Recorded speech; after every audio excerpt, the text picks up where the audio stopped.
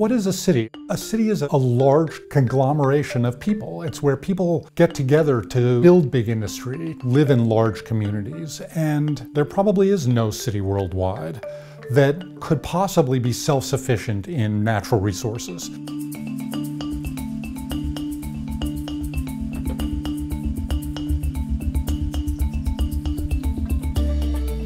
Singapore is a great example of a city that long ago outgrew its natural resources. And because of that tension, because of the challenges they've had, Singapore has been a place where innovative efforts have been made to try and solve water resource problems.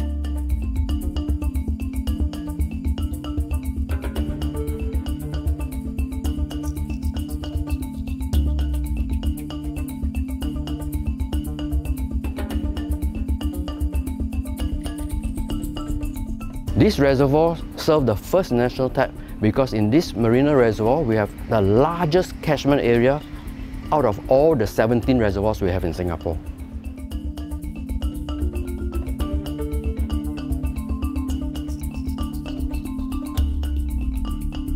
The second national tap is recycle and reuse every drop of water used endlessly.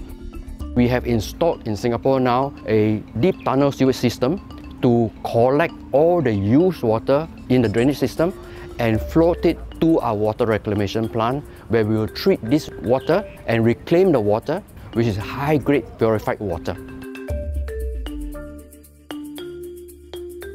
What we do is we desalinate seawater all around Singapore and with this it is also conforming to WHO for potable water.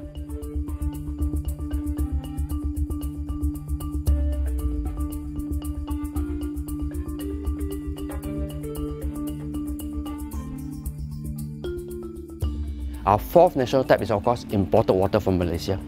Now this imported water from Malaysia has got two contracts. The first for 50 years already expired. We are now living on the second contract lasting for 100 years until 2061. So depending on what we're willing to spend, cities can become almost entirely self-sufficient in water. More and more of our water could be a closed loop system if we're willing to spend the money and invest in the technology to do so.